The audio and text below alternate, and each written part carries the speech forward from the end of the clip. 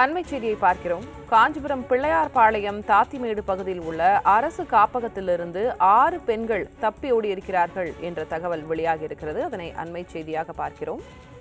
கூடுதல் விவரங்களை வழங்குவதற்காக செய்தியாளர் இஸ்மாயில் இணைந்திருக்கிறார். இஸ்மாயில் என்ன நடந்தது?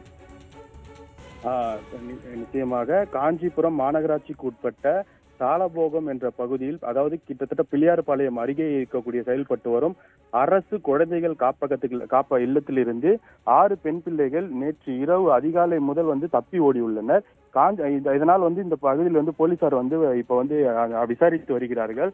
குழந்தைகள் குழந்தைகள் நல ஆர்வலர்களும் வந்து இந்த பகுதியில் வந்து குவிஞ்சிருக்காங்க இப்ப போலீசார் வந்து விசாரணை நடத்தி வருவதில் ஆறு பிள்ளைகள் எந்தெந்த பகுதியை சார்ந்தவர்கள் பதினாறு வயது மதிக்கத்தக்க பெண் பிள்ளைகள் ஆறு பேருமே நேற்று இரவு ஒ- ஒரே ஒ- ஒரேடியாக இந்த பகுதியிலிருந்து தப்பி சென்றுள்ளனர். இது குறித்து போலீசார் வந்து தற்போது இந்த பகுதியில் வந்து விசாரித்து வருகிறார்கள். இப்போ அந்த ஆறு பேருடைய விவரங்கள் தெரிய வந்திருக்கா? அதில் அது குறித்த முதற்கட்ட விசாரணை தொடங்கி இருக்கிறதா? வேறு ஏதேனும் குழுவினர் அந்த பகுதிக்கு விசாரணையில் ஈடுபட வந்திருக்கிறார்களா? என்ன விவரம்?